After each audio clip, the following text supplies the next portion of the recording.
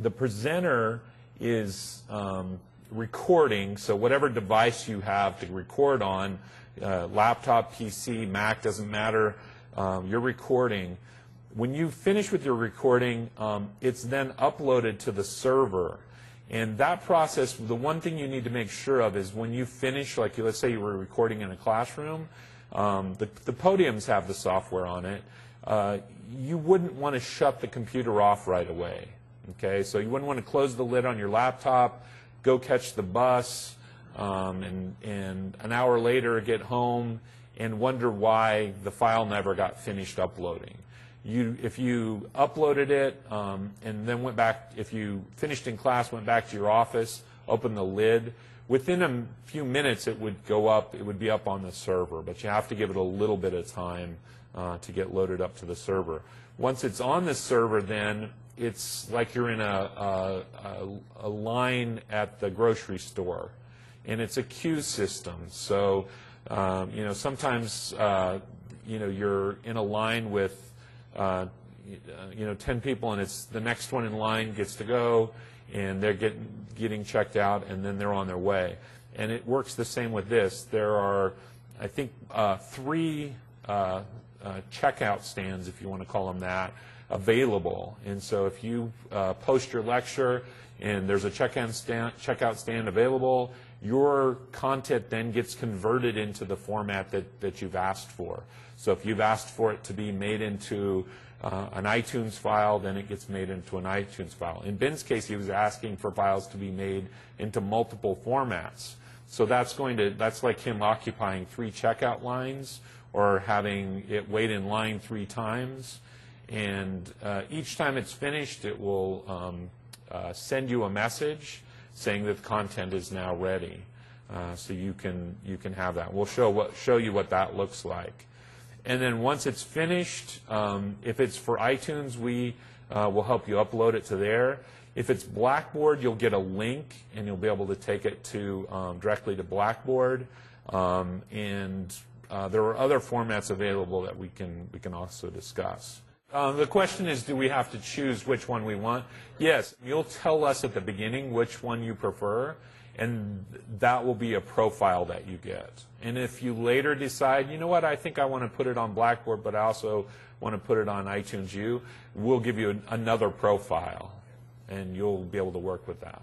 And the profile will, you'll put it one place and it'll go all three if, if you chose, for, if you choose to do that. So here's the basic workflow um, that what it looks like when when you're uh, going to start this process. You're going to um, open whatever software on your computer that you want on your screen while you're beginning. Okay. Now, when Ben came in here and talked to us, um, he I asked him, "Do you have any slides you want to show?" And he said, "No, I don't." So I just quickly made a slide that had his name and the title of what he was going to talk about, and that's what we saw on the screen. And if we were recording what he did with Camtasia Relay, you would see that slide and hear his voice in the background. That's the way it would have worked. So for you, it's the same way. If you're working through a PowerPoint, you would just put the, open up the PowerPoint to begin the process. If you're explaining something to them that's a website or a piece of software, you would open that up. And you can have multiple things open and switch around. Uh, we'll talk a little bit about what you don't want to have open uh, in, a, in a few minutes. Uh, but whatever you want on the screen, uh, get it open.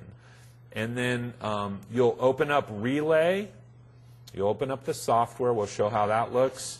And you'll choose a profile. Now, if you've only have one profile, that's what will show up.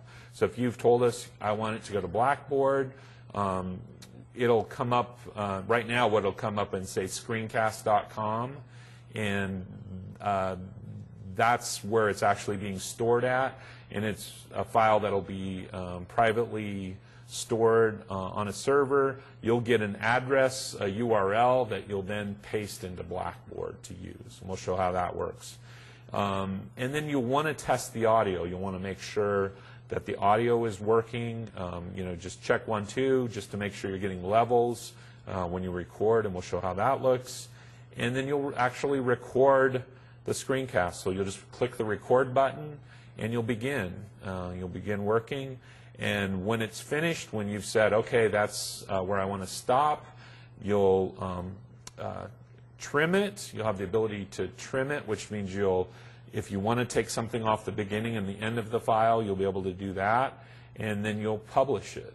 And once you choose publish, it'll go out to the server. And here is another advantage to this idea of doing it, having it broken down uh, into maybe two or three sections during your class, is because uh, once you say publish, um, it, that that particular file is off to the server in in the line at the shopping uh, in the checkout line, and so by the time you got back to your office, if you had recorded three separate ones, the first two would probably already be waiting for you, uh, ready to to post into Blackboard, um, uh, and the third one would probably be done soon after that.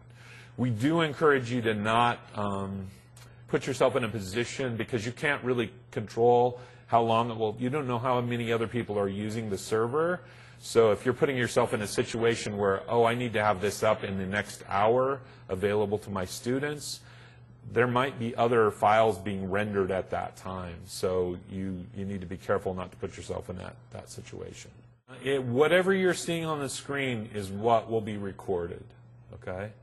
So um, we'll, we'll show how that looks, and I'm going to actually do that right now.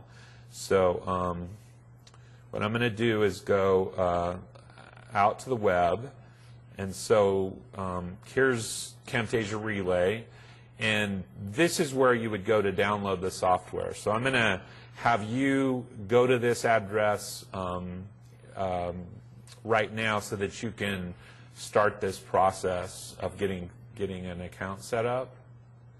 Okay. So the, the actual address to this is um, H, it, you just need to go to, I'm going to pull this up on the slide. Hang on just a second.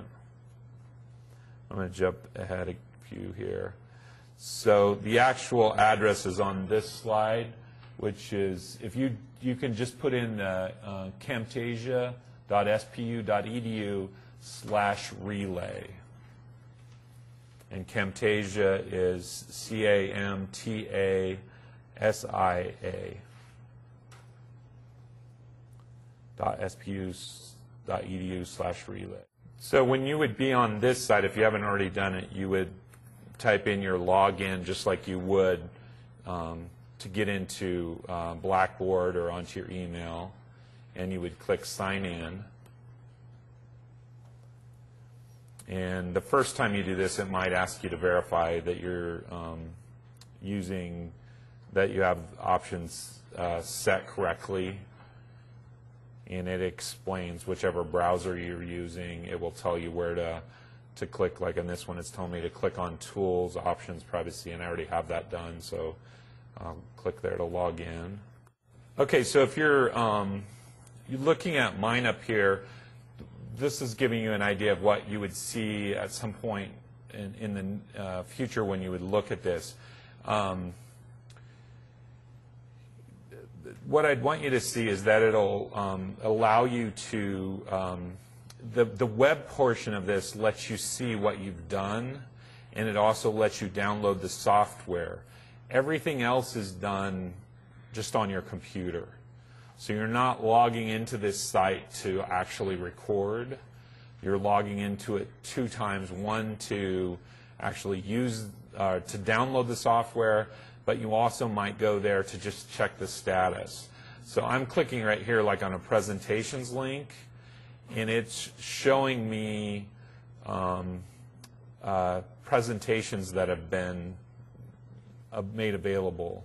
Okay, so here's these, if I click here and look at um, uh, completed, here's it showing different recordings that have been made that I've done. Okay? Um, and so that might be a reason to go here. But primarily the reason you'd come here is to click on this download recorders link. So that's what you'll need to do in your office or on your laptop or in your home go to that download recorders link and either select the Mac or the PC version, whichever you have, um, and use that, okay? And so if on this particular computer, I have a Mac, I'd click on that link, it saved the file for me, and I just run it, okay? So in a typical way. If you have any questions about installing it, um, we can definitely help you with that, okay? So once you'd have it loaded, uh, that would be, um, this is just the status of presentation. This would be once you've published something, depending on the location where you've published it. Okay.